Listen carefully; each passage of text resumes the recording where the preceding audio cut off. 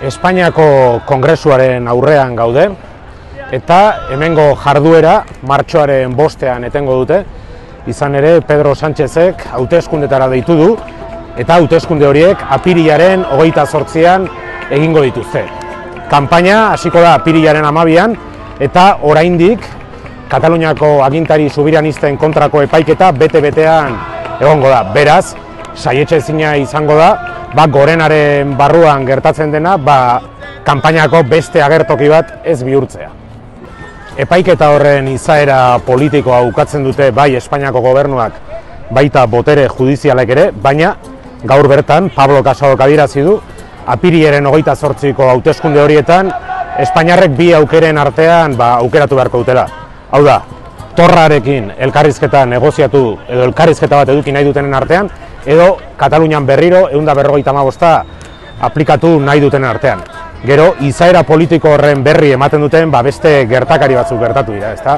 Ez da harritzeko adibidez, ba, Pedro Sánchez, Espainiako presidentea, azken hilabetean, bi aldiz joan dela Estrasburgora, giza eskubideen Europako auzitegira, badakilako han bukatuko dela Katalanen kontrako auzia.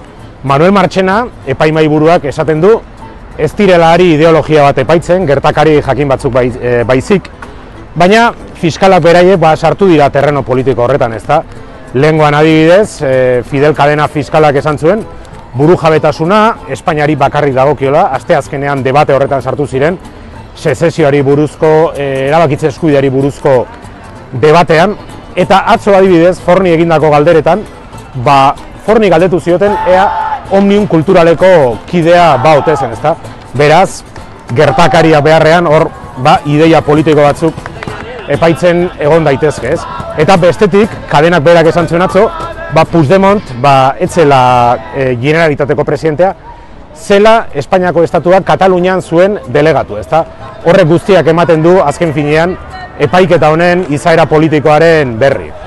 Nazioarteko behatzaiekin, epaiketa jarraitzen ari diren zenbait nazioarteko behatzailerekin egon gara, eta haiek esan digute barduratuta daudela ba, ikusten ari diren botere banaketa gabezi horrekin, ez? Eta nola ba, e, gurutzatzen diren, bai, e, ba, beno, e, maia politikoan gertatzen ari dena, eta maia judizialean gertatzen ari dena, ezta?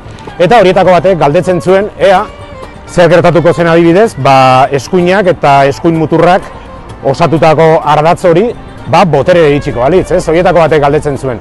Zer, zigorrak are handiagoak izango ziren, e, hogeita bosturte beharrean urte gehiagoko zigorra ezarriko liokete junkerasi, galdera horiek egiten zituen, ez? Izan ere, ondotxo daki, ba, e, botere judizialaren kupula nola erabakitzen den, ezta? Zein pixu duten boterean dauden alderdiek, botere esekutiboan dauden alderdiek, hori erabakitzerakoan, ezta? Baina, tira, Pedro Sánchezek eh, hauteskundeak horregatzerako, ba, horrek esan nahi du, agian pentsada, pentsatzen duela edo kalkulu hori egin duela, ba, boterean jarraitu dezakela, ezta? Baina dena dela ikusiko dugu zer gertatzen den, baina argi dago epaiktegian gorenean gertatzen denak, ba, hauteskunde horietan eragina izango duela eta alderantziz ere bai.